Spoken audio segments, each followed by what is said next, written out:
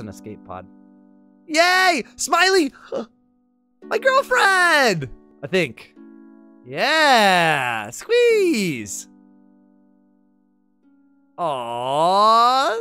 he loves it! Go Phil! Photo album? Oh, this is gonna be like up. All right, let's get ready. Let's see the photos. Do I do I open it? Okay. Here we go. Yep, aliens over the school.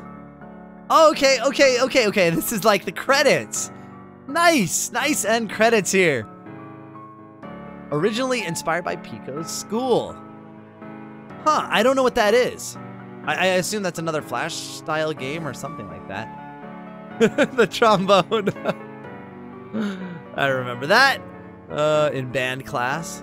Big thanks to Dan, ja Jacksepticeye, Cinnamon Toast Ken, Riskrim, and other YouTubers. Me! Yeah.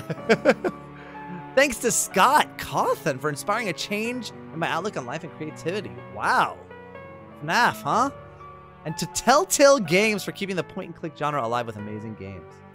Wow. Oh, look, he proposed. Did you see that? He proposed. Special thanks. Wow.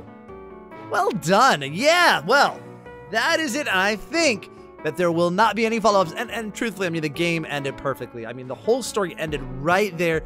Rather than the end of uh, Riddle Transfer 1, that was a super cliffhanger. This, fitting ending, right? It's all over. At least you, you would think, right?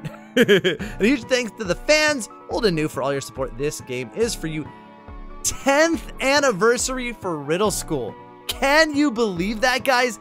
10 years since the first one until this one, I guess, because he said a happy 10th anniversary. That's incredible. well, anyway, guys, that is it for this episode of Fan Choice Friday. Don't forget to leave your suggestion in the comments below so I can have something fun to play. Now, oh, they got old. It is like up. Next week, I'll see you guys again soon. Thanks for watching. And of course, Mulan!